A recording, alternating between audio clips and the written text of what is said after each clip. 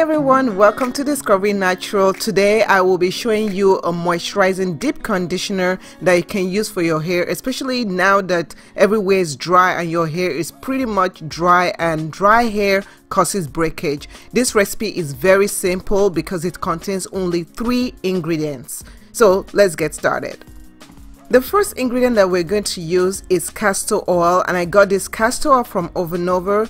A lot of castor oils that you see right now, they contain salt, they contain soybean. Check your castor oil. Let me know, does your castor oil have 100% castor oil because that is what you really, really need for your hair. Now, castor oil has a lot of benefits to the hair. It helps you with dandruff. It also helps enhance your hair growth by increasing the blood flow to your hair like your blood circulation and that is because it contains ricinoleic acid which is one of the key ingredients of castor oil. In addition, castor oil helps with reducing split ends in your hair and strengthening your hair.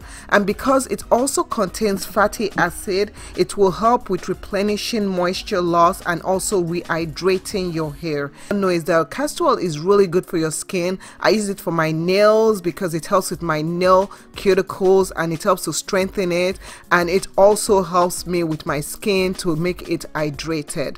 The second ingredient we're going to use is bananas. Bananas are high in potassium and magnesium which helps improve hair health. It repairs damaged hair and detangles hair easily and it also promotes shine. One thing is there's a lot of people say that the banana gets stuck in their hair for days so I'm not going to be using bananas. I'm using baby food banana this particular baby food banana does contain lemon in it but lemon is also good for your hair because it contains vitamin c which also helps you with dandruff the last ingredient we're going to use is honey. Honey acts as an emollient for the hair. It is rich in antioxidants and it strengthens the hair follicles. It also contains antibacterial and antiseptic qualities. So now we have our three ingredients. So let's start mixing. You're going to need 2 teaspoons of castor oil for this recipe. For the honey, you will just need 1 teaspoon of honey.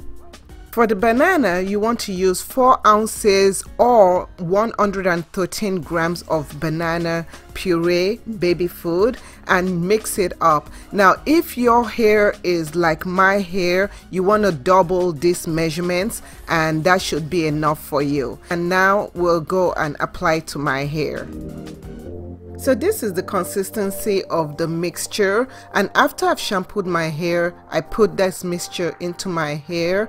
And when you're putting it you want to make sure you get all the strands. So separate the hair into smaller sections so that you can apply the mixture correctly into your hair. Once you've worked it into your hair, concentrate also at the ends of your hair because that is where your hair starts splitting. What you want to do is that you want to massage your scalp with the castor oil and I'm just going to put the castor oil all over my scalp and then I'll use my scalp massager to massage my scalp and help to stimulate growth that way too. So the last thing you want to do is you want to cover your hair with a plastic bag and use some form of heat if you have it. I use a heated hat and that works great for me. So this is what my hair looks like after I've rinsed all the mixture from my hair. My hair feels soft there's no residue in my hair. My hair is really hydrating and the way I know that is because my curls are popping. So I love love love love love love love my hair. It feels very soft and I just want to say thank you to Offer Nova for sending me the castor oil I'm in love and I love that I can use it for my DIY so if you guys are looking for a castor oil as I said that contains 100% castor oil check the description down below and also go to offernova.com and I really appreciate you guys for watching. Don't forget to give us a thumbs up and a like and we'll see you in next video